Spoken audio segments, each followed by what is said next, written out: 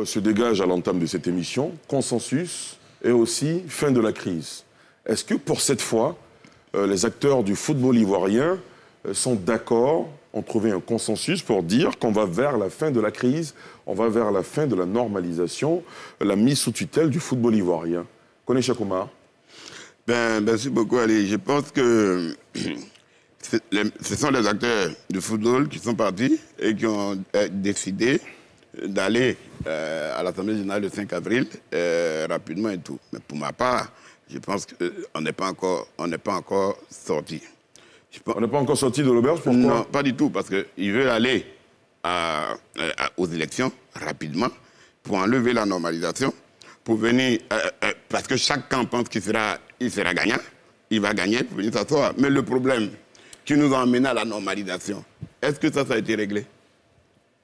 La crise entre, euh, les, présidents du club, la méfiance qui existe entre les présidents du club, la guéguerre qui existe entre eux et qui, a été activée par, les différents candidats, euh, euh, candidats à la candidature et, consorts. Tant qu'on ne ramène pas la sérénité dans notre football, parmi les acteurs du football, vous pensez que euh, euh, ces, élections-là vont nous sortir de, cette crise, non? Donc pour vous, certains acteurs confondent vitesse et précipitation Absolument, parce que le, sujet n'a pas été réglé. C'est-à-dire la crise, le problème n'a pas été réglé. Ce qui nous a amené à la normalisation, les courriers qu'on a amenés à la FIFA, euh, ce qui nous a amené à Zurich et consorts, est-ce que, est que ça a été touché? Nabi à côté Est-ce que ça a été touché?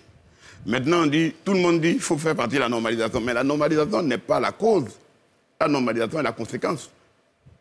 Adam Anabi, vous partagez euh, euh, je euh, ce pense même que, euh, postulat J'ai eu, la chance de faire partie de, de, tous les travaux qui ont permis d'aboutir à ce, à ce calendrier.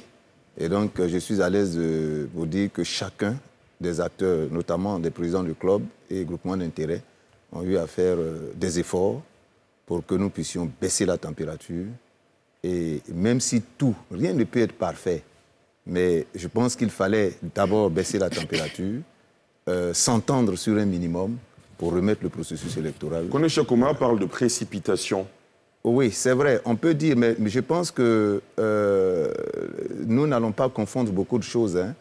La normalisation, certes, elle peut avoir été causée par plusieurs choses bien avant, mais elle est venue sur un processus électoral en 2020 qui n'a pas été tenu et que euh, quand on prend tout ce qui a été donné comme raison de la mise en place du comité de normalisation, tout était relatif au, processus électoral de 2020. Et donc, pour moi, celui qui viendra aura pour mission de régler les problèmes restants. Mais le comité de normalisation ne peut pas venir euh, régler tous les problèmes de la Fédération ivoirienne de football. Voilà. C'est pour cela qu'il faut un président élu qui, aura la légalité et la légitimité. Voilà. Très bien. Amégaï je pense que je dirais wait and see, hein, comme diront les, Anglais, wait and see, parce que avec les acteurs du football ivoirien, sait-on jamais? Je le dis parce que nous sommes à notre troisième report, hein, mine de rien. C'est cela. Et aucune élection à la Fédération ivoirienne de football n'a eu de frémissements dans les hameaux les plus reculés de Côte d'Ivoire. Comme celle-là Comme celle-là. Depuis 1960, qu'existe la Fédération ivoirienne de football, c'est la première fois qu'il y a un chamboulement, un foisonnement au niveau de cette, euh, élection.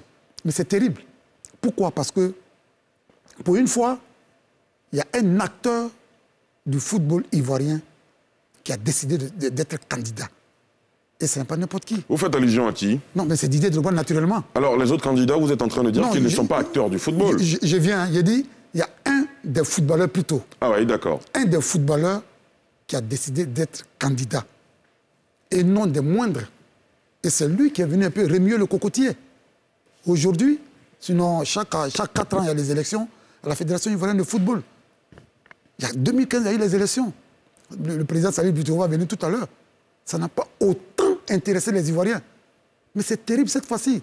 Tous les réseaux, réseaux sociaux en parlent, malheureusement. Amégaï, le calendrier annoncé par le Connor FIF, est-ce qu'il vous donne des raisons d'espérer de voir le bout du tunnel? Je souhaite tout simplement voir le bout du tunnel. Mais connaissant les acteurs du football ivoirien, j'en doute fortement. Vous en doutez, on, en reparle tout à l'heure.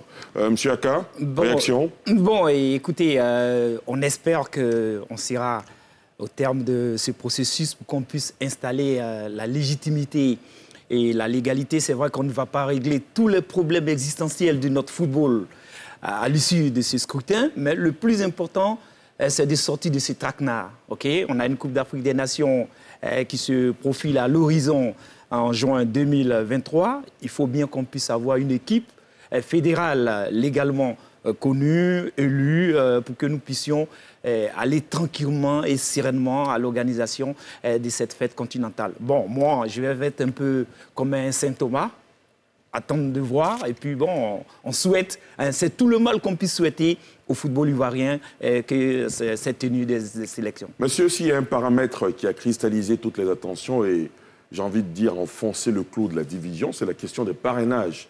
Aujourd'hui, euh, il y a eu le consensus, me semble-t-il, pour lever le verrou des parrainages. Est-ce que c'est une solution ou c'est plutôt un problème qui a été déplacé? Konesha Kumar Mais écoute, je pense que euh, pour les parrainages, il faut saluer. Il faut saluer cette décision qui a enlevé la catégorisation des parrainages. C'est très important parce que la catégorisation elle-même, c'est un problème. C'est un problème parce que ça permet à chaque catégorie de pouvoir asseoir, euh, si tu veux, son hégémonie, s'ils veulent, s'ils s'entendent. Et donc, enlever la catégorisation, c'est à saluer et c'est bien.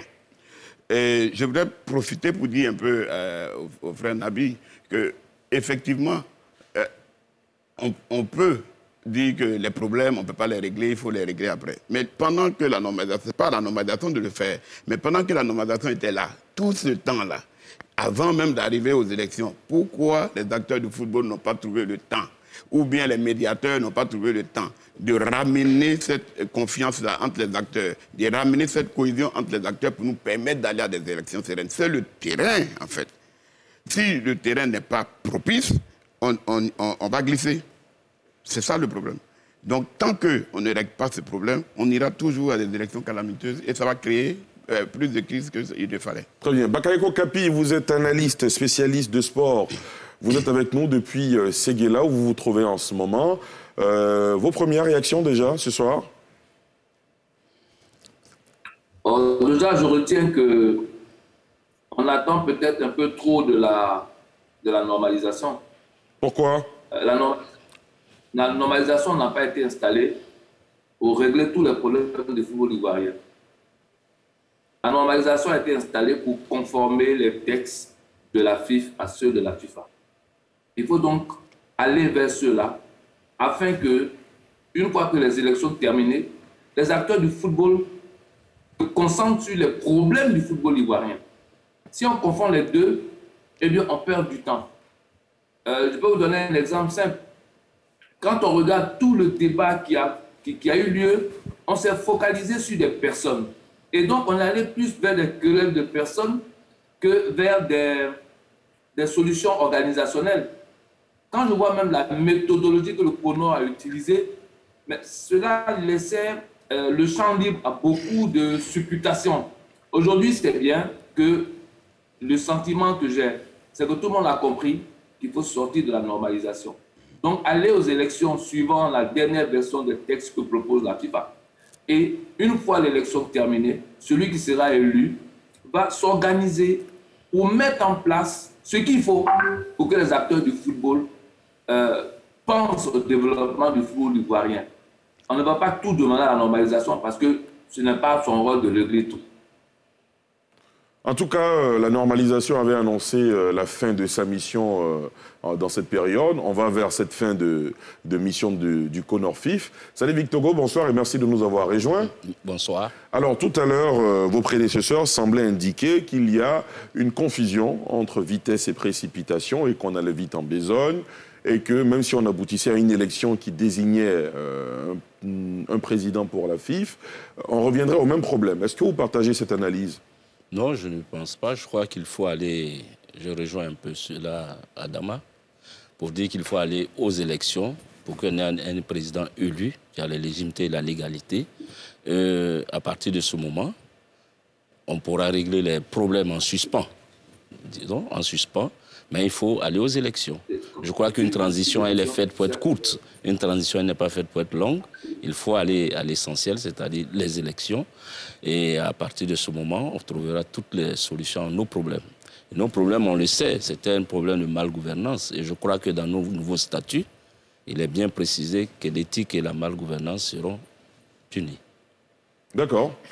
Euh, monsieur, euh, tout à l'heure, Bakayoko Kapi euh, semblait indiquer qu'il y a des choses qui n'ont pas pu être réglées évidemment par le Conor FIF. Euh, Kone Kumar disait aussi que les problèmes qui ont mené d'ailleurs à la normalisation sont loin d'avoir été résolus. Ces problèmes-là, c'est lesquels et on ne peut pas les résoudre Mais écoute, les problèmes, ils connaissent ici, c'est d'abord la division qu'il y a entre les acteurs du football. Une division sur fond d'intérêt. Sur fond d'intérêt. Le président Talib dit que c'est la malgouvernance. Mais écoutez, moi je pense qu'on ne se, comprend pas. Hein. Quand on dit qu'il faut aller mettre un président légitime qui va venir arranger. Mais il y avait un président légitime et puis il y a eu la crise. Donc si président légitime pouvait éviter crise, on n'aurait pas eu de crise. Parce qu'il y avait un président légitime, on a supposé, on a, on a estimé qu'il gouvernait mal, on a estimé qu'il faisait, et c'est ça qui a envoyé la crise. Donc, un président légitime peut venir là encore, et puis on va encore estimer qu'il il, est devenu dictateur, ou bien il gouverne mal, et puis la crise va continuer. Mais tant que la crise aujourd'hui est un, problème, je, dis, on ne demande pas ça la normalisation. Non, ce sont les acteurs du football. La normalisation fait son travail, mais à côté, les acteurs profitent du temps que la normalisation prend pour faire son travail rapport, pour, pour lui donner un terrain propice. Parce que tant que la normalisation n'a pas un terrain propice qui avait organisé cette élection sur ça, on va aller se cogner la tête et on va recommencer à zéro. Alors qu'on connaît. Donc chacun allait s'asseoir dans son QG pour attendre que la normalisation quitte. Mais la normalisation ne devait même pas venir. Personne ne veut de la normalisation. J'ai été le premier à dire il y a un an et demi ici que faisons attention, sinon on va à la normalisation et ce n'est pas bon pour nous. Personne n'a envie d'aller. La normalisation, c'est un ténia. Et quand, il est, quand c'est rentré, il faut faire doucement pour qu'elle sorte. Sinon, votre pied là-bas, c'est pourri, puis on va couper. C'est cela. Voilà. Alors, il y a une question que les Ivoiriens se posent, hein, vous qui êtes acteur du football, c'est l'harmonisation de la disposition sur les parrainages. Vous l'avez accepté volontairement ou c'est une compromission finalement? C'est les Togo je crois que c'est une compromission. Je crois que chaque État a sa constitution et est, décidée par elle-même. Je crois que en Assemblée, on avait demandé aux représentants de la FIFA s'il y avait des articles contraignants. On nous a dit non, donc nous sommes allés au vote et nous sommes restés au parrainage, des huit parrainages. Et je crois que pour moi, la démocratie n'est pas le nombre de candidats. Parce qu'on dit s'il y a les parrainages, il va y avoir deux candidats, il va y avoir trois. Je veux dire que même si on part à 4 parrainages, s'il y a 21 candidats, c'est impossible. Est-ce que la démocratie, c'est le nombre de candidats ou c'est la conditionnalité pour être candidat?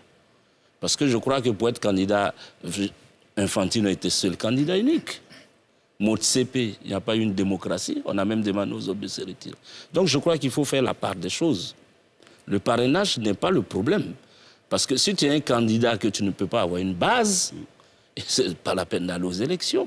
Taubira, en France, elle n'a pas eu de parrainage. Elle s'est retirée. Je crois qu'il faut relativiser. Les parrainages, on ira même s'ils veulent qu'on parte sans parrainage. Ils ont fait sauter le verrou de, de la caution, alors que dans des clubs, on demande 10 millions. Et la fêtière même demande rien. Adam Nabi, comment vous vivez toutes ces dispositions?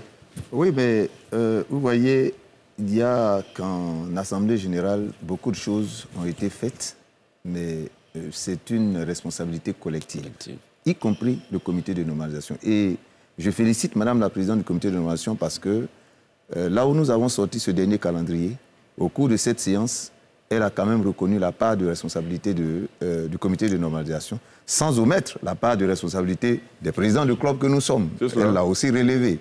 Mais elle a au moins reconnu sa part de responsabilité parce que euh, pendant l'Assemblée générale qui a pondu cette disposition de catégorisation avec huit parrainages, ce n'est ni, ce n'est aucunement une proposition venant des clubs.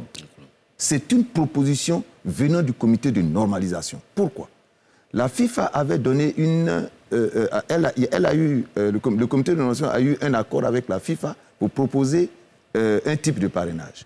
Quatre parrainages au moins, six parrainages au plus sans catégorisation. Bon, ça, ça a été mis sur la table. Il y a des, des présidents de clubs qui ont proposé six parrainages au moins. Ça aussi, ça a été mis sur la table. Et euh, un autre groupe a proposé euh, qu'on re- qu'on reconduise l'ancienne disposition, sauf qu'il faille ajouter qu'il le double parrainage proscrit, est interdit. Voilà, voici les trois propositions qui étaient sur la table. Et chacun a défendu sa proposition et donc a abouti sur un blocage. Voici ce qui s'est réellement passé. Et donc, le comité de normalisation a demandé une pause de 10 minutes pour se concerter et venir avec euh, une proposition consensuelle. C'est après la pause que le, comité de nomination est venu avec la proposition qui fait aujourd'hui débat. Et donc, qui a été adoptée à l'unanimité. Aucun membre n'a voté contre cette disposition, y compris ceux qui se plaignent aujourd'hui. C'est une disposition qui a été votée à l'unanimité des membres. Mais quand on sort, et donc, Madame la Présidente, pourquoi elle dit que- qu'elle a sa part de responsabilité? C'est parce qu'elle s'est vue elle-même l'a dit, c'est ses mots. C'est ses mots. Elle a été contrariée par la FIFA. Parce que quand quelqu'un vous envoie en mission, que vous faites quelque chose et que ce que vous avez proposé, les autres acceptent, et que c'est celui qui vous envoie qui, vient contre, mais vous êtes contrarié. Elle l'a reconnu au cours de la réunion qui a pondu ce communiqué. Pour dire que nous n'avions pas un problème de fixation au niveau des parrainages, vu, vu le nombre de propositions qui étaient sur la table. Mais euh, quand ça, ça doit bloquer tout le football ivoirien, mais aujourd'hui, là, je profite de cette antenne pour remercier le président d'honneur Jacques Anouma qui a pris l'initiative de faire baisser la température en rencontrant les, les- différentes parties. Parce qu'il faut savoir qu'après la, lettre de la FIFA, euh, les rencontres que le comité de nomination a eues avec euh, les différentes ligues, les différentes divisions, ça, ça- chacun a dû exprimer son, son mécontentement et son, son désarroi. Et donc, la situation était crispée. Et donc, finalement, il faut remercier les acteurs également, remercier aussi Madame la Présidente du comité de nomination pour avoir sorti ce document et ce processus-là pour qu'il soit remis en route. Très bien. Moi, j'ai confiance que nous allons pouvoir y arriver. Gueye, moi, Freddy Yaka, vous êtes journaliste et beaucoup d'observateurs ont vite fait de donner de la voix pour dénoncer une ingérence de la FIFA. Réaction Moi, je voudrais, je voudrais qu'on soit clair dès le départ. hein. Dites-nous. Monsieur le président Kouré a dit tout à l'heure, il fallait tout faire pour éviter l'installation d'un comité de normalisation. On est bien d'accord. Il, fa- il fallait tout faire pour l'éviter. On est À bien d'accord. moment où le comité de normalisation est installé, mais qui installe le comité de normalisation? C'est la FIFA. On est bien d'accord. La Côte d'Ivoire n'a pas inventé le football. Le football a été inventé par les Anglais, géré par la FIFA. Et si la FIFA installe un comité de normalisation, on doit être permanemment sous les injonctions de la FIFA. Il ne faut pas qu'on l'oublie. Donc l'attitude de la FIFA est normale concernant normal. le parrainage selon vous? Et c'est dit dans le code électoral qu'à tout moment, la FIFA doit- peut intervenir dans notre code électoral. Je ne sais pas pourquoi les gens, les gens, les gens sont assez frileux. À partir du moment où on a accepté l'installation du comité de normalisation, on devrait accepter tout ça. Donc la FIFA est dans son rôle. La FIFA est dans son rôle. On aurait pu éviter cette énième crise, à mon avis. Très bien. Freddy Yaka Euh, bon, crises. moi je ne peux pas parler euh, d'ingérence. Euh, Il y a les acteurs du football en Côte d'Ivoire qui se sont rendus à Zurich, qui ont convoqué euh, l'ancien comité exécutif de, euh, de la FIF. Ce n'est pas maintenant que euh, notre football se trouve euh, à la croisée des chemins. Euh, les problèmes ne sont pas nés avec la normalisation. Le président Nabi a évoqué tout à l'heure l'unanimité, mais l'unanimité n'est pas souvent un critère de vérité. On peut se tromper dans le grand nombre le président, l'ancien président de l'Afrique, Kone Chakouma, a dit tout à l'heure que la catégorisation des parrainages posait un problème. C'est tellement simple. Ça donnait, par exemple, un pouvoir au groupement d'intérêt qui pouvait annuler le choix d'un club de football. Moi, je ne trouve pas ça normal. Un président de club, M. Victoro qui est là, il paye ses joueurs, il entretient ses joueurs, il s'occupe de leur vie. Il choisit de donner son cutus à un candidat et parce que celui-ci n'a pas pu avoir le parrainage d'un groupement d'associations, on dit le vote de M. Victoro ne compte pas. Mais comment est-ce qu'une association d'anciens footballeurs ou de médecins doit annuler le vote ou bien le choix de M. Bictogo. Pour moi, il n'y a pas de logique. Maintenant, euh, la Côte d'Ivoire ne peut pas s'exclure de la FIFA. Elle ne peut pas s'exclure de la CAF, ni de l'UFOA. Nous sommes en train de dire aujourd'hui, on parle de la mondialisation. Seul, on ne peut pas évoluer. Bon, si la Côte d'Ivoire décide de, euh, de croiser le fer avec la FIFA, mais elle n'aura que ses yeux pour pleurer. Parce que tous les projets de développement de notre football viennent tous de, de, la FIFA. Quelle est la politique de développement du sport roi en Côte d'Ivoire? Cette question, si on la pose aujourd'hui au vainqueur de la Coupe de la Confédération en 1993, le Stella Club d'Adjamé, président, c'était contre les Tanzaniens, je crois bien. Le Stella, après ça, où est-ce que notre club s'est retrouvé? Est-ce que les sponsors sont venus avec ce club pour essayer de lui tracer des trajectoires futuristes? Le Stade d'Abidjan, qui a gagné la Coupe euh, euh, des, clubs champions en 1966, est aujourd'hui en deuxième division. Le SOE Sport de San Pedro, qui a disputé la finale. Africa Sport National aussi. Contre le, euh, j'arrive, contre le National. Deux, fois vainqueur de la Coupe de. Contre le National du Caire, perdu dans les derniers instants, aujourd'hui en deuxième division. L'Africa qui perd contre le Zamalek, qui et perd contre le tout-puissant Mazembe, mais qui gagne en 92 contre le Vitalo de Bujumbura et en 99 cette grande équipe à El Mensa de Tunis, ben écoutez, où se trouve aujourd'hui l'Africa? C'est l'ADN de fonctionnement, de gestion de nos clubs qu'il faut revoir, mm. les gérer comme des entreprises. Les problèmes du football existent. Il faut rapidement organiser ces élections, mais se braquer contre la FIFA, c'est un duel perdu d'avance. D'accord. Voilà. Bakayoko Kapi, réaction? Sur la question des parrainages notamment. Bakayoko Kapi, est-ce que vous nous recevez?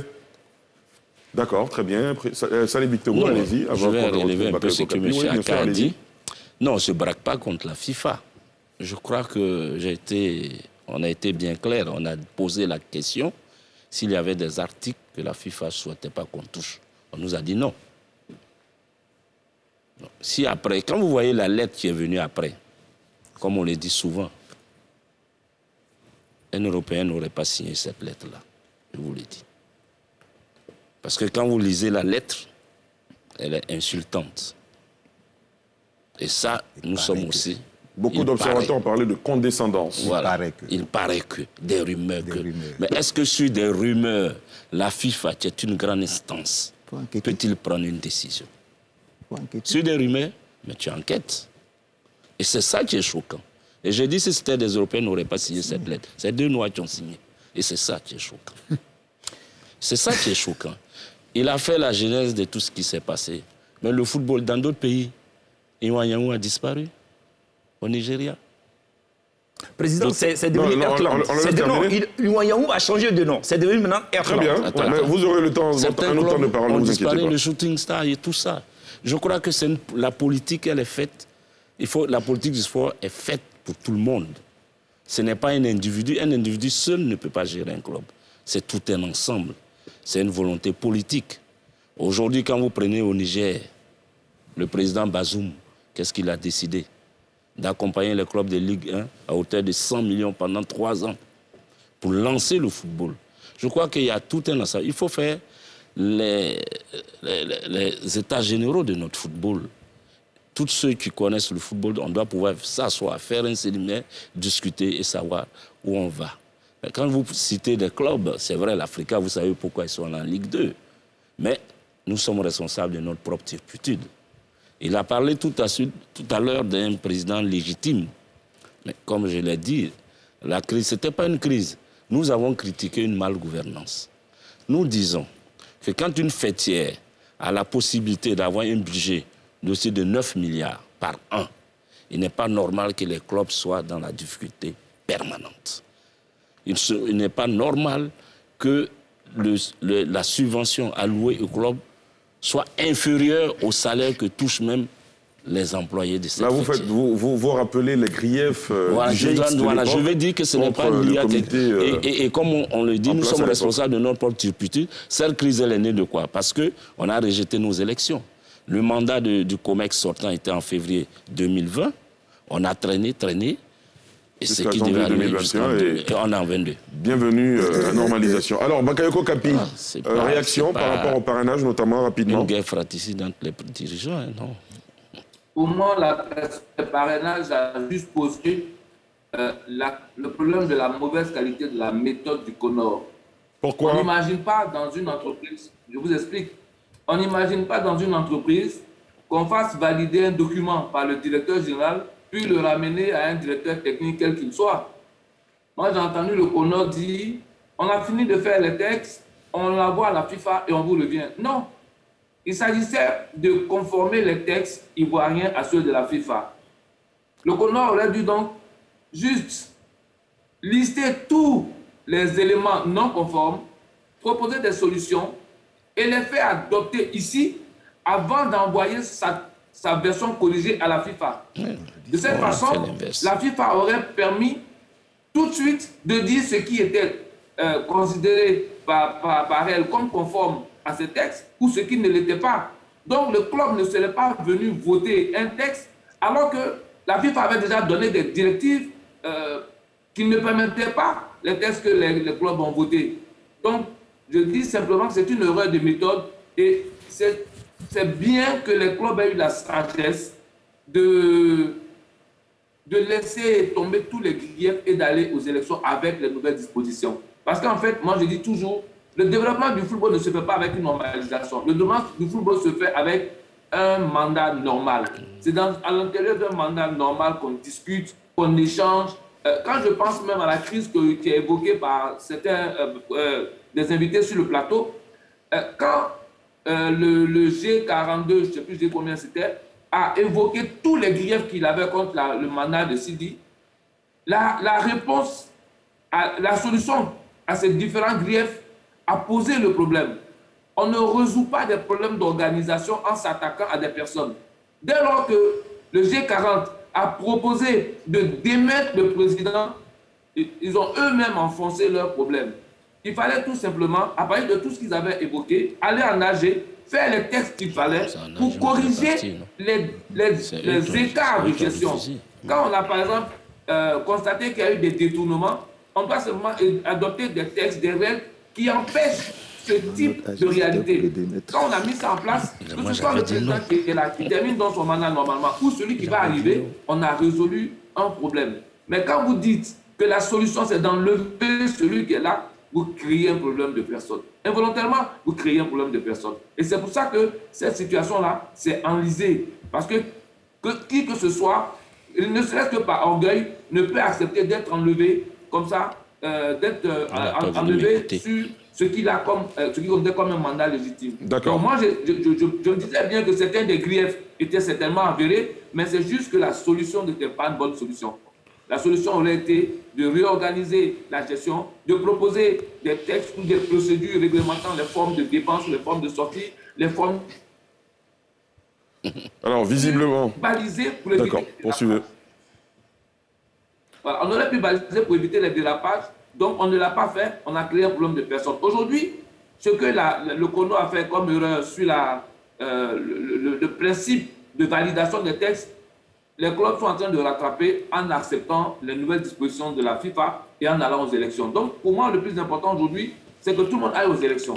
C'est au président qui sera élu de comprendre qu'il y a un rassemblement à faire. C'est à lui de construire ce rassemblement. Ah ouais. Ce n'est pas la normalisation de construire le rassemblement.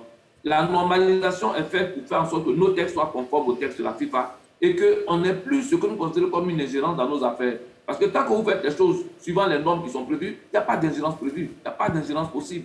Il faut simplement se calmer et puis se dire, OK, celui qui sera élu aura 4 ans. Si au bout de 4 ans, on n'est pas d'accord, on en élit un autre. Mais on ne va pas se bloquer ici et maintenant euh, face à des problèmes que la structure qui est là n'a pas vocation à résoudre. On vous a bien entendu, Bakayoko Kapi. Euh, Avant de vous donner la parole, Kumar, c'est- j'aimerais qu'on entende M. Simon, qui nous appelle d'Aboisseau. Monsieur Simon, bonsoir. Bonsoir, monsieur. Quel est votre point de vue rapidement? Allez-y. Vraiment, c'est bon, je ne sais pas un point de vue que tu vas donner, mais je suis en train de, de voir à la longue. Vous faites une analyse, allez-y, allez-y. Je suis en train de voir à la longue, Oui, avec le débat que nous avons en Côte d'Ivoire concernant les élections de la FIFA. Oui. Est-ce que la FIFA un jour ne va pas prendre une décision pour dire que ne peut être président d'une fédération un, un, un joueur ou un ancien joueur de football Et là, ça va éviter tous ces tout ce que nous voyons en Côte d'Ivoire. Voilà. Est-ce qu'on peut continuer, par exemple, l'association des pêcheurs à des mécaniciens Moi, c'est mon interrogation. Faisons très attention pour ne pas que demain, on, on ait à regretter ce que nous faisons aujourd'hui. Où voulez-vous en venir, Monsieur Simon? Euh, voilà le, le problème. Le problème, depuis 1960, tous ceux qui ont dirigé de, de la Fédération ivoirienne de football n'étaient pas des footballeurs. Et voici que cette année, un ancien footballeur se présente pour briller de la magistrature. Et c'est le haut là Et depuis, euh, depuis quelques mois, on assiste à des blocages, on parle de blocage, en blocage, de blocage, en blocage. Et ce n'est pas bien pour cette corporation. Moi, voilà mon point de vue. D'accord, on vous a bien entendu. Euh, Adam Manabi, oui. Oui, bon, je, je- en fait, euh, je voudrais savoir, il y a combien de footballeurs qui ont dirigé la FIFA? Il y a combien de footballeurs qui ont dirigé la CAF?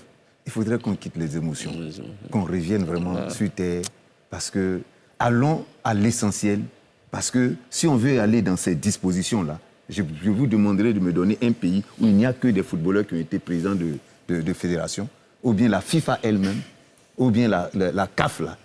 Euh, Motsepe, là, donnez-moi dans, dans, dans- Les présidents ce- du ce- club. les présidents de, de- il, il est- il est- il est- a joué euh, dans, quel, dans quel club Voilà, mais il faudrait qu'on aille à l'essentiel. On a un problème aujourd'hui. Je pense qu'aujourd'hui, là, c'est de pouvoir voir si nous sommes en train de sortir de la crise. Il ne faudrait pas qu'on revienne sur vraiment des choses.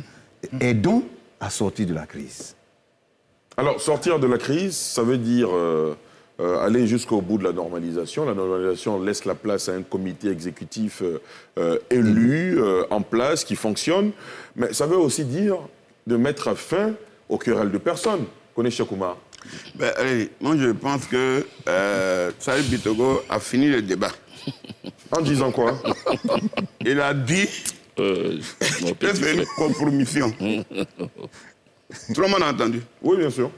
Quand on dit ça, c'est fini. Ça veut dire, faisons un quitter dans cette affaire de normalisation, on va aller faire nos paroles après. Salut Victor, c'est ce que vous pensiez Non, c'est pas ce que je pense. Non, Mon mais- jeune frère. Bon, on laisse, on laisse Kone Chakouma terminer. Non, mais il a dit, non, on lui a posé la question. hein. Il dit, c'est une compromission. Donc, quand on dit c'est une compromission, déjà, il y a problème. Il dit, débarrassons-nous. C'est-à-dire, nous, on n'est même pas d'accord. Mais soyons d'accord sur une chose, comme euh, le disait le président Fauboigny, ils sont d'accord que sur le désaccord. Donc, soyons d'accord sur une chose. On veut enlever la normalisation. Là. Nous tous qui sommes en parole, mettons-nous ensemble pour. On n'a qu'à sortir de là. Alors que le problème, ça ne doit pas être la normalisation, c'est notre football là. qui est le problème. Le développement de notre football là qui est le problème. Moi, je pense que personne ne comprend exactement, même euh, Bakayoko Kapit, il- euh, ce qu'il dit, ça n'a rien à voir avec ce qu'on est en train de dire. On n'est pas en train de lui dire qu'il faut que la normalisation fasse tout. Non, personne n'a dit ça ici.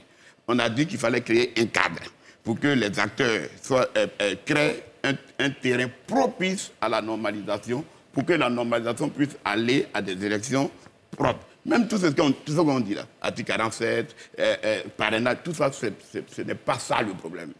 On est d'accord, je suis d'accord avec eux sur ça.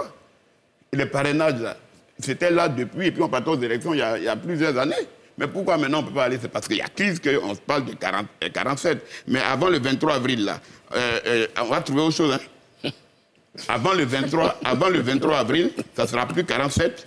Ça va devenir autre chose. Ça va devenir peut-être... Pour vous, il y aura de nouveaux rebondissements. mais bien sûr, tant que tant que euh, euh, y, a, y a encore il y a des arrière-pensées. Parce que quand vous parlez de la FIFA et tout, c'est des hommes qui sont là-bas. Et puis les gens de la FIFA, mais qui a envoyé la normalisation? Parce que c'est la FIFA qui a envoyé la normalisation Non, c'est nous, c'est les Ivoiriens. C'est les Ivoiriens qui ont demandé la normalisation.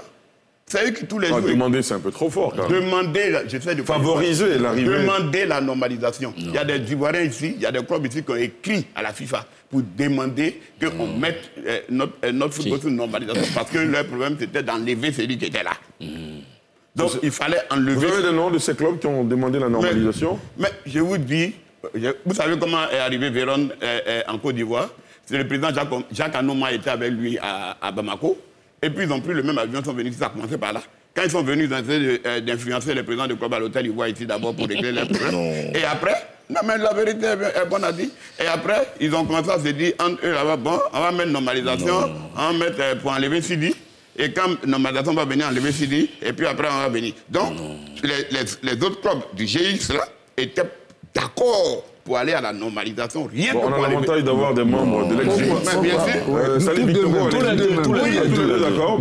Mais nous-mêmes, tous les deux, Oui. nous, les, les présidents du club, nous, on a- nous, on dit qu'on n'a pas de problème. Pourquoi c'est les autres extérieurs qui trouvent qu'on a des problèmes? Lui, il n'est pas de la même équipe de campagne que moi. Je ne suis pas de la même équipe de campagne que lui. Mais on n'a pas de, problème.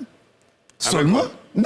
Quand on dit qu'on est divisé, qu'on est, on voit le, le cataclysme partout, mais non. Alors peut-être qu'on peut reformuler la chose. Oui. On a beaucoup plus affaire à des débats sur des personnes que sur les programmes, sur les enjeux de notre football, sur les infrastructures, sur la qualité du football. Salut Victor Hugo. Non, on n'a pas de problème sur les personnes. Moi, j'ai été président de la conférence des présidents quand le président Jacques Adnoma était en poste. J'ai défendu les clubs ivoiriens. Si vous allez, vous reprenez les archives, vous verrez que j'ai été celui qui a attaqué le plus le président Jacques Anoma, qui reste un ami et un frère. Le père à son âme, Sidi, c'est un frère que je connais depuis 1977. D'autres le connaissent peut-être par intérêt aujourd'hui. Mais depuis 1977. Donc c'est un frère. Et quand il y avait problème, j'ai encore levé la voix pour dire que les clubs ont des difficultés et que la malgouvernance, c'est quoi? C'est pas forcément aller, c'est pas dire que quelqu'un a détourné de l'argent. La malgouvernance, c'est quand je vois que mon pays, pendant neuf ans, n'a pas de compétition de jeunes et que moi-même, je suis issu de la formation du Stella. J'ai été joueur, j'entends des gens dire pourquoi. J'étais joueur, j'étais candidat en gravi tous les 2011. dans l'équipe. je sais pas. Voilà. Donc, on jouait les, les, les levées des rideaux. Il est anormal qu'un pays comme la Côte d'Ivoire, aujourd'hui, sa pépinière soit les binationaux. Ça, c'est de la malgouvernance pour nous qui sommes dans le sport. Au-delà de ça, au-delà de, de- de- de- des ressources qu'on peut avoir, ça, on peut, chacun peut donner sa vérité. Comme on dit, chacun a sa vérité. Cela. Et c'est quand on s'explique qu'on trouve le bon, la bonne vérité. À partir de ce moment, il n'y a pas de guerre fratricide entre les dirigeants. Il peut y avoir certaines incompréhensions, parce que comme je l'ai dit, chacun a sa vérité. Mais en argumentant, on trouve le bon milieu. On trouve le bon milieu et c'est ça que nous recherchons. Aujourd'hui, allons à une élection apaisée. Celui qui aura gagné saura rassembler les gens. Parce que quand tu ne sais pas rassembler les gens, c'est ce qui amène les crises. Il faut savoir rassembler les gens. Très bien. Je n'ai rien contre qui que ce soit. Très bien. Alors, Monsieur Diagola Adama nous appelle euh, d'Aboisseau. Euh. De Koumassi, pardon? Pour lui, euh, il faut que la bonne gestion intervienne déjà dans les clubs avant d'arriver au sein de la FIF. Monsieur Diagola, allez-y. C'est normal. Oui, moi, c'est ce que je disais. Euh, bonsoir, monsieur Diarasouba. Allez-y. Oui. Au fait, pour moi, je disais que les clubs, aujourd'hui, se plaignent du, du fait que la FIFA vient s'ingérer ou bien fait la dictat de choses euh, par rapport à tout ce qui se passe. Mais moi, je dis, euh, eux, quelle est leur cont- contribution à la FIFA? Aujourd'hui, moi, je vais demander la recette de la SEC. Si un match à SEC, euh, peut-être euh, sans plus d'eau, quelle est la recette? Aujourd'hui, c'est la FIFA et l'État de Côte d'Ivoire qui contribuent au budget de la FIFA. Donc, ils n'ont qu'à arrêter un peu. Moi, je dis aujourd'hui, il faudrait qu'on s'asseye, les- les acteurs du football ivoirien s'asseyent et discutent réellement des réels problèmes de choses, du football ivoirien. Parce que présentement, il y a chose, le match, euh, euh, chose, du, le classico Real Madrid, de euh, chose, euh, Barcelone. Barça. Ouais, mais c'est tout- c'est toute la Côte d'Ivoire, tous les jeunes Ivoiriens sont derrière ce match. Mais combien de personnes regardent le match euh, si on dit un classique à 5 Africa? Qui Quelles sont les personnes qui regardent? Il n'y a personne. Il n'y a personne. Mais moi, je suis vraiment Pour vous, ça manque euh, d'initiative, d'innovation? Oui, mais il faudrait que les gens s'asseyent et ils discutent réellement euh, du football ivoirien. Ben, On a l'impression que c'est des personnes. Et moi, je dis, je, rev- je reviens encore pour dire, euh, pendant longtemps, on a, vu ces, acteurs-là, qui sont peut-être candidats, on les a vus. À qu'est-ce qu'ils ont apporté? Qu'est-ce qu'ils ont apporté? Moi, je, je, je, en même temps. Je prends euh, un club comme la, comme la SEC. Mais on a le président Bozognan qui est là depuis combien d'années? Mais il, faut, il faudrait qu'en Afrique, les gens comprennent qu'à un, à un, moment- donné, il faudrait qu'on on passe la main. Ça, c'est important. Il y a un, nouveau souffle peut venir, puis ça, peut, ça peut bouleverser les choses. Mais tant que les choses sont en en état comme ça, ça ne va jamais bouger. Ça ne va jamais bouger. Donc moi, c'était là ma contribution. Merci beaucoup, M. Diagola Adama. Euh, Freddy Yaka, allez-y. Bon, écoutez, il y a tellement de problèmes. Tout à l'heure, euh, j'étais très content quand le président Salif Bictogo a évoqué euh, l'anticipation, la projection, la compétition des jeunes. Euh, C'est malheureusement sous le président Jacques Anouma que le tournoi championnat en herbe s'est arrêté. Le centre des sports de haut niveau et tout ça. Il a évoqué tout à l'heure que sur- sous le euh, comité exécutif euh, dirigé par euh, Sidi Diallo, on n'avait pas de compétition des jeunes. Oui, on n'a pas de compétition des jeunes. Donc, on n'anticipe pas. On- ne sait pas comment est-ce que on peut former des jeunes, comment on constitue. Tu demandes aujourd'hui à un entraîneur de l'équipe nationale des, cadets ou bien des juniors, comment il fait pour constituer l'ossature de, de son équipe il va te dire, ben, euh, je, ne sais pas, mais j'appelle, euh, je prends mon numéro de téléphone, j'appelle ici, j'appelle là. J'ai été une fois euh, au tournoi de Montaigu en France avec l'un de mes amis, un ami allemand, et il m'a posé la question, Freddy, ben, dit, c'est votre équipe nationale des jeunes qui est là en train de se produire? J'ai eu honte de lui répondre. Il me dit, mais quel est le critère pour choisir les enfants qui sont venus représenter la Côte d'Ivoire? Il m'a dit, si c'est cela, le futur de vos sélections, c'est que vous partez tout droit dans le mur. Mais les résultats sont là. Les problèmes du football sont réels. Le comité exécutif qui était là, c'est sous lui qu'on a tranché la tête à plusieurs présidents de clubs ici en Côte d'Ivoire. Le relationnel a été mal géré. Monsieur Salim Vibogo a été sanctionné. Konéchet Kouma à vie. Daou Mamadou et Jeanne-Marie Diomandé. Mais attends, et avec ça, on nous dit sur ce plateau qu'il n'y a pas de problème. Non, essayons de, Moi, je- de- arrêtons de ma- maquiller les choses. On a des véritables problèmes. Et pour revenir, Est-ce que ces à- problèmes-là ne sont pas derrière nous aujourd'hui non, non, ça existe. Non, ouais, le- sont devant. le- le- le Quand vote- on a exagérez des gens, Monsieur Ali, Monsieur quand Ali. on a amnistié des gens, C'est terminé. Non, non, vrai quand même. non, non, mais qui ne nous disent pas, qui ne nous disent pas, Voilà. qui ne nous disent pas qu'il n'y a pas eu de problème, qu'il n'y a pas de problème. Il y a eu amnistie. des gens, écoutez, écoutez, par exemple, on, on- on gérait les problèmes selon la tête du client. L'Africa Sport Est-ce que vous n'êtes pas en train de remuer le couteau non, j'arrive, je, je vais en finir rapidement. Je suis en train de dire, on a réglé les problèmes selon la tête du client. Le président de l'Africa Sport d'Abidjan, pour un match de Ligue 1 de Côte d'Ivoire, fait jouer des footballeurs sans visite médicale, sans licence. Ailleurs, on te suspend à vie. Qu'est-ce qu'on lui a donné comme sanction ici? Mais il y avait derrière des intérêts électoralistes qu'il fallait préserver. Mais on ne peut pas faire ça. Avec plein de cas de crise cardiaque, on tombe ici, les morts en cascade dans le football. Je dis, c'est pas normal. Et pour moi, pour moi, pour revenir, il faut demander à ceux qui gèrent notre football séparer la Ligue de football professionnel de la fédération. L'exemple de euh, Javier Tebas en Espagne est là, Christian Seifert en Bundesliga est là, en France, en Angleterre, on a des exemples, et puis instaurer un contrôle des finances de nos clubs, présenter des garanties avant de commencer un championnat, proposer le modèle d'un contrat de footballeur professionnel pour nos footballeurs. À la, à la suite des Oui, faits, je voulais dire tout simplement, euh, je voulais prendre le mot euh, au président Salif Bitogo, qui a parlé tout à l'heure de subventions. Moi, je voulais dire que je prends l'image, Ali Diarasouba, d'un privé qui décide de construire une école. Il prend le soin sur lui de construire son école. Au lieu de compter sur ses ressources propres par les élèves privés, il tend la main à l'État et il se plaint que l'État ne lui affecte pas des élèves affectés pour, pour- avoir de l'argent. Mais c'est la même chose comme nos, nos présidents de clubs. Ils créent leurs clubs qui sont des associations privées et ils tendent la main constamment pour les subventions. Quand il n'y a pas de subvention, c'est le branle-bas dans les, dans les clubs. Donc voilà un des soucis qu'on a. Pendant longtemps, l'ancien comité directeur a parlé des cahiers de charges. Mais jamais ça n'a été respecté. Un cahier de charges, c'est quoi? Un club doit avoir son terrain d'entraînement. Un club doit avoir une organisation fiable et viable.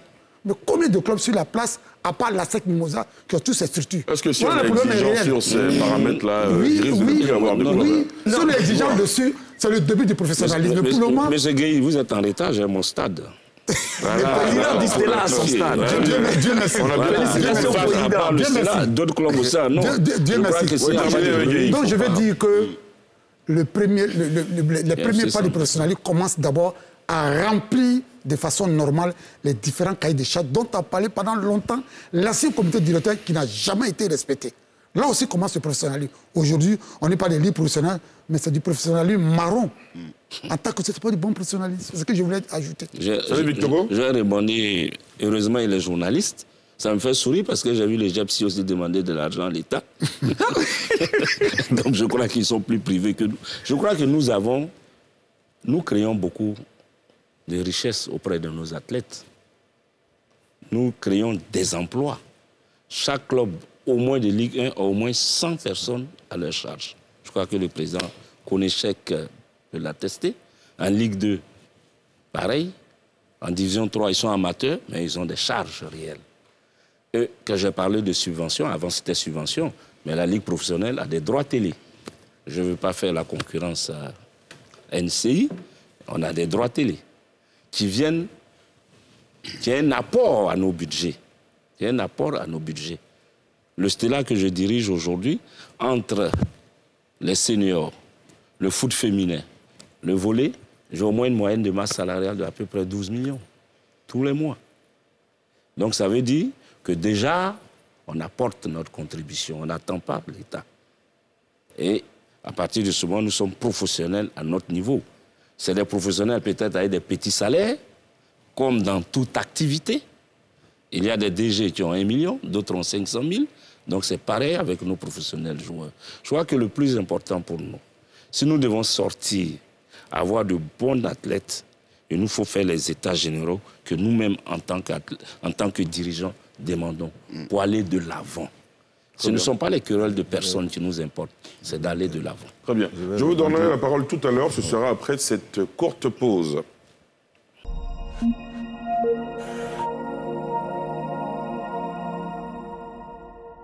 Sur le plateau de NCI 360 et après cette courte pause, nous replongeons dans le sujet euh, euh, que nous abordons depuis l'entame de cette émission, à savoir euh, le football ivoirien qui est toujours sous perfusion et suite à l'annonce du calendrier qui devrait aboutir à l'élection du futur président, on espère voir le bout du tunnel et nous avons des spécialistes euh, euh, du football sur ce plateau.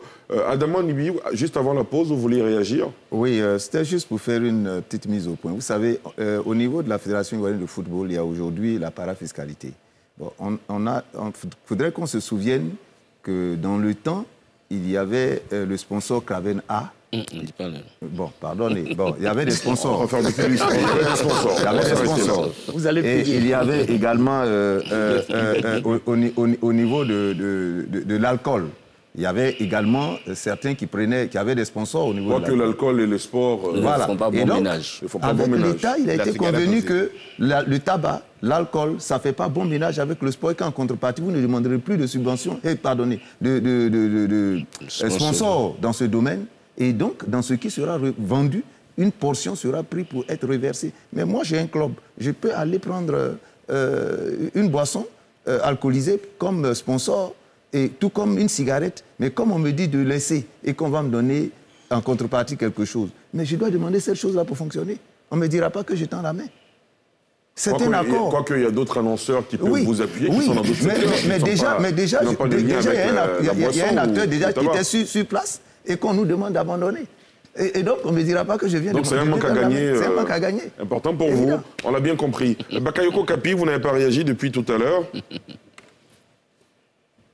Oui, euh, ma réaction elle est simple après tout ce que j'ai entendu. On m'a dit effectivement que la normalisation, on n'a jamais dit qu'elle était venue pour tout régler. Mais j'entends beaucoup de solutions qu'on annonce maintenant. Il faut que je rappelle que le sujet c'est comment on fait pour sortir de la crise. La crise actuelle euh, a deux volets. Il y a le volet où la FIFA nous dit qu'on n'est pas conforme à ce qu'elle a comme organisation. Et puis il y a le volet de nos querelles internes. Mais pour régler ces problèmes, il faut regarder l'ordre prioritaire. Quelle est la priorité aujourd'hui? Est-ce que la priorité, c'est que les clubs se retrouvent face des états généraux, tout ce qu'on veut, pour essayer de trouver des solutions? Non. Il faut d'abord établir un président. Et puis qu'on soit de l'opposition à ce président ou partant de ce président, qu'on sache se parler. Qu'on sache se parler, puisque tout le monde se rend compte sur le plateau qu'effectivement, il faut se parler. Il faut être capable de, euh, d'élévation, il faut être capable de passer au-dessus de nos petits intérêts internes pour aller vers quelque chose. J'entends beaucoup de solutions, le, football des jeunes, le football de, de, ceci ou de cela, mais ce sont de très belles solutions. Mais toutes ces solutions ne se mettent en œuvre que lorsque on a un président élu qui, qui commence son travail. Aujourd'hui, on a des candidats qui ont des programmes. On va les il faut les interpeller sur leur programme. Il faut les interpeller sur le programme. Comme ça, celui qui est élu, déjà, on lui a fait des propositions concrètes sur ce qu'on voulait. Donc, quand il est élu, il sait très bien ce qu'il a à faire en priorité. Là, j'ai vraiment l'impression que euh, on veut tout régler en même temps. Mais dans la vie, quand on a un million de problèmes, on a besoin de faire des priorités. Actuellement, la priorité, c'est mettre fin à la normalisation. Et pour ça, il faut aller de façon apaisée aux élections. On n'est rien président. Très sérieux. Euh, visiblement. Non, c'est pas un extra. Visiblement, on a un problème technique euh, avec. Euh, on a le temps de lui. Soit tu dit ça, ce n'est pas, pas correct, ça c'est bon, ça c'est pas bon. C'est comme ça que ça marche, le principe. Il n'y a aucun système où y a, tout le monde est unanime, ça n'existe pas. On a toujours forcément un, un, un, pouvoir et une opposition. C'est ça. On vous a bien compris, Bakayoko Kapi, messieurs, connaissez la démocratie. Donc, euh, Bakayoko Kapi, merci beaucoup. Je reviendrai à vous tout à l'heure, certainement, euh, pour vous entendre sur d'autres questions, notamment. Connaissez Koumar, est-ce que vous avez l'impression qu'au terme de ce process qui va conduire à l'élection d'un nouveau président, ce nouveau président aura la légitimité et ne sera pas controversé? Euh, Non, moi je pense que si on va aux élections le 23 avril, aux élections forcées, là. Ça m'étonnerait d'ailleurs qu'on y arrive. les autres présidents de club n'ont pas l'impression que ce sont des élections forcées. Non, mais si en, un mois, là, on, dit d'aller tout de suite à des élections parce qu'on euh, euh, on veut venir s'asseoir à la tête de la fédération. Parce qu'ils sont tous d'accord, parce que chacun pense qu'il va gagner. Et donc, il va venir s'asseoir à la tête. On ne peut pas régler. C'est que, que je dis. Qu'est-ce que vous aurez recommandé, vous? Moi, j'aurais recommandé qu'on on, on crée, on crée, comme on a dit, un comité ad hoc des présidents de club pour accompagner la normalisation. Et accompagner comment? Pendant que la normalisation règle les problèmes techniques et tactiques, le comité règle les problèmes, les vrais problèmes, les problèmes de personnes, les problèmes, prépare un terrain propice. C'est très important. tout le monde dit ici, non, c'est pas maintenant, il faut aller d'abord à un président élu qui va venir régler. Mais pendant ce temps-là, ça fait un an que la normalisation est là. Avant d'arriver à l'élection du 23 février déjà là, ah un an là, on a fait quoi? Les présidents de club ont fait quoi? Ils n'avaient pas de mission.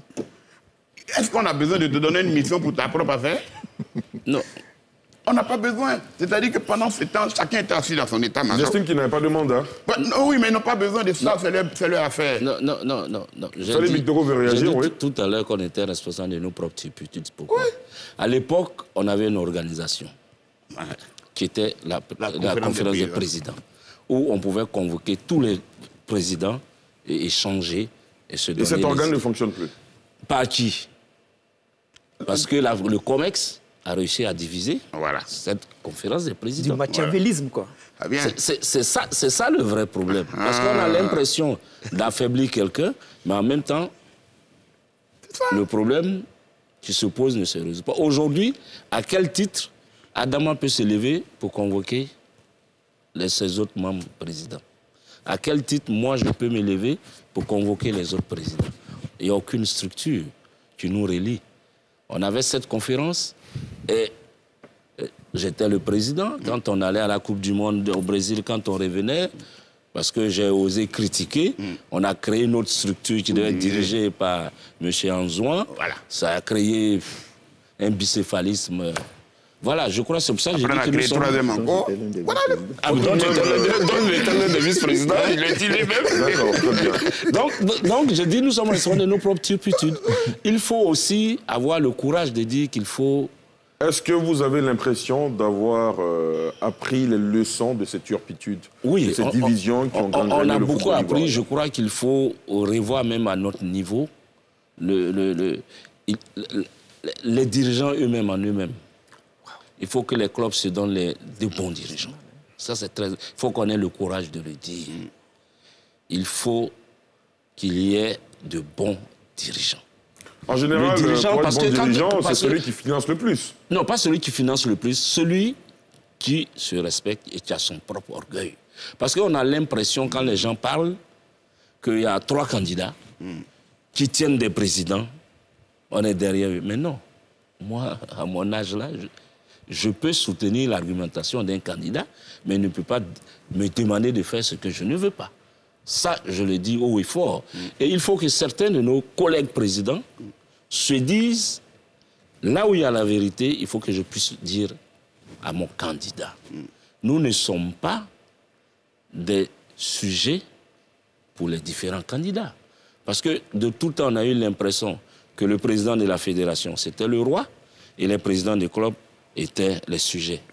Et Monsieur- ça, il faut qu'on sorte de ce, de ce, de ce raisonnement-là C'est pour grandir. Donc, il faut vraiment changer la qualité des dirigeants. Et ça, a c'est très important. Tu penses que tu peux faire ça D'accord. Alors, parlant des présidents de club, justement, on a, on a Joël qui nous appelle de Corogo, qui a beaucoup de choses à reprocher au président de club que vous êtes. Ah oui, mais c'est ce que Joël, bonsoir. On doit nous reprocher Oui, beaucoup de bonsoir, choses. monsieur. Nous vous écoutons. D'accord, il n'y a pas de problème. Donc, euh, déjà, je souhaiterais décrier déjà la gestion euh, des présidents de club.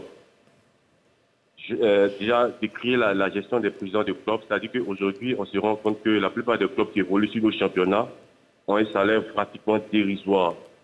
Un, ils ne sont pas motivés, raison pour laquelle ils préfèrent évoluer dans des championnats exotiques. Et en contrepartie, ils sont vendus par ces clubs-là. C'est-à-dire qu'aujourd'hui, les clubs, ils tendent la main à l'État pour vivre de subventions. Et derrière cela, ils vendent des joueurs. Donc, c'est-à-dire que vous tendez la main, vous bénéficiez de subventions, et à côté, vous vendez des joueurs. Mais vous gagnez. Voilà, c'est ça le problème. Il y a une mauvaise gestion des présidents du club. Aujourd'hui, les acteurs même du football national ont un salaire franchement dérisoire. Regardez leur, leur aspect sur le terrain. Ils sont chétifs. La plupart des joueurs en Ligue 2, si vous vous renseignez bien, lorsqu'ils sont malades, peu importe le mal qu'ils ont, c'est les paracétamol qu'on leur donne. Ils mangent du riz en groupe. Ils n'ont pas de salle de gym. C'est de ça qu'il est question. Donc, c'est sur ces points-là que je souhaite intervenir. Très bien. Merci Joël de nous avoir appelé depuis Corogo. Moi, je- Adam Nabi. Oui, d'accord. Aimé d'abord. Moi, moi, je suis heureux d'attendre le président Salih Bitogo, qui est un, un, un dur à cuire en la matière, de faire son autocritique. On est heureux de savoir que le président Adam, euh, Salif Bitogo reconnaisse la responsabilité des dirigeants du club à ce stade où nous sommes. Parce qu'aujourd'hui, notre football a trop souffert des pros Ali Gerasuba, des pros temps, des pros temps. Alors, je, je rappelle que c'est juste un exemple. C'est un exemple. C'est juste un C'est exemple. exemple. C'est juste un à rien du exemple. tout. Voilà. Et tu- Pro- et pro- tu peux pro- être pro- candidat. Enfin, Non, mais pas pour, pas ficelles. pour le moment. Pourtant, pourtant. Notre football a été trop saucissonné en pourtant, en pourtant. Il faut qu'on sorte de ces carcans-là. Le pic a été atteint en 2014 quand on a été éliminé pour la Coupe du Monde en Russie. Patatara, il y a eu un boom. Konechek l'a dit. Au lieu, qu'on on- on pose des problèmes, tout de suite, on a demandé la démission de l'ancien président qui dirigeait le, le football ivoirien, le président Idriss Diallo. Puis patatara, Sidi Diallo. Sidi Diallo. Sidi Diallo, pardon, Sidi Diallo. Et c'est parti. Vous voyez un peu Il faut qu'on évite de, de- de- de personnaliser et surtout les querelles des personnes en saucissant les- les- les- les- le football ivoirien en pourtant, en pourtant. On a trop souffert de cela. Et nous souhaitons, nous, en tant qu'acteurs, journalistes, qu'enfin, on fume le calumet de la paix en allant à ces élections. Comme celui qui va venir, Paul Capu a dit quelque chose de très important, rassembler les tissus qui ont été déchirés à un moment donné. C'est vrai qu'il n'y aura pas la sécurité zéro, la paix zéro, mais on souhaite tout simplement qu'on apaise pour qu'on aille de, de l'avant. Aujourd'hui, on a appris que la SEC Mimosa a gagné son match face au club tanzanien 3 buts à 0. La SEC est donc première de sa poule. C'est de ça qu'on a besoin. Parce qu'au niveau du ranking des clubs en Afrique, la Côte d'Ivoire est très mal classée. Et nous sommes heureux que la SEC ait gagné aujourd'hui et ça va rassembler le football. Et donc, on souhaite tout simplement que le 23 avril, enfin, les élections se tiennent et surtout le 5 avril, qu'on ne vienne pas nous dire encore qu'au lieu de 4 parrainages, on dit 5 parrainages. Voilà. D'accord. Euh, Adama Nabi, euh, Konesha Kumar, tout à l'heure, l'intervenant qui nous a appelé de Korogo, indiquait euh, le caractère misérable dans lequel évoluent les joueurs dans nos clubs. Réaction Adama Nabi Euh, c'est un constat, c'est vrai, mais je pense que les présidents du club se battent, ils font ce qu'ils peuvent. Il ne faut pas les brimer d'un seul trait. Il faut les aider. Peut-être il pourra donner des propositions qu'on pourra prendre en compte. Mais nous savons que nos joueurs souffrent, nous savons que euh, tous ceux qui environnent nos clubs et qui aident à soutenir ces enfants-là également souffrent. Mais euh, aujourd'hui, euh, le président sauf Salif- pourquoi Il faut peut-être réinventer les modèles. Oui, bon, Mais mais rien à inventer d'ailleurs. Oui. On voit comment ça se passe en Europe, euh, dans les pays de l'Afrique euh, du Nord. euh, pas seulement, mais euh, je crois que c'est au Togo, ou au Bénin, au Bénin justement. Au Bénin où euh, euh, je crois que la, la gouvernance du pays a décidé d'accompagner tous les clubs de Ligue 1 avec un certain montant qui devrait permettre aujourd'hui, peut-être que d'ici 5 ans, vous ne, verrez, vous ne reconnaîtrez plus euh, ce, ce Bénin-là. Au Niger aussi. Voilà, au Niger également. Et, et ne, ne- ne- ne- ne jetons pas tout le, le propre sur les présidents du club. Aidons-les. C'est vrai, il faut les critiquer, mais il faut leur donner des solutions. On ne remet pas du revers de la main qu'il n'y a pas de problème, mais c'est des gens aussi qui se sacrifient pour ces enfants-là et pour le club. Salut Victor. Je- C'est vrai qu'il est bien beau de donner des avis. Vous savez, on joue un championnat où on n'a pas de spectateurs. On dit non, c'est parce que le niveau n'est pas élevé. Je dis non. Le joueur, c'est un artiste. Quand un artiste arrive sur, sur les rings, il a besoin d'avoir du monde. Quand il y a du monde, il se sublime. Les gens critiquent, ils ne viennent pas au stade. Tu fais une recette à Bah, ils disent qu'ils ne viennent pas au stade parce que le spectacle n'est pas Ah, mais justement, ça, on ne pourra jamais faire le spectacle.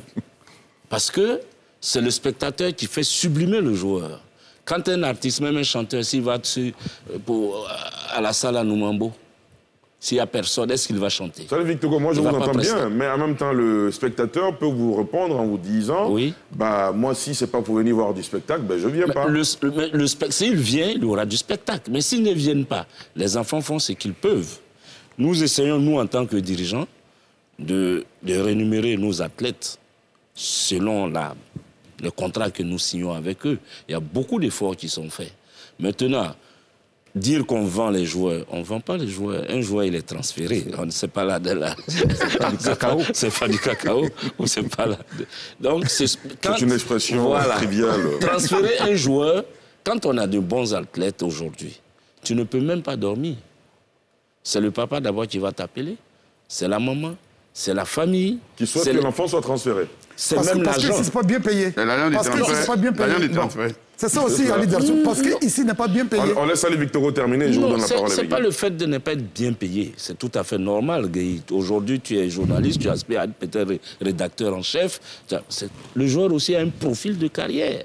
Si moi, aujourd'hui, ce joueur-là peut permettre, peut aller plus loin, il n'y a pas de raison qu'on ne le fasse pas partie. J'aurais bien voulu que Kessier soit toujours Au dans Stella. mes- au Stella. Mais quand on a vu son profil de carrière, il est parti. Aujourd'hui, c'est bon pour la Côte d'Ivoire. Mais ça ne veut pas dire que s'il restait, je pourrais donner ce que Milan donne aujourd'hui. Ce n'est pas possible.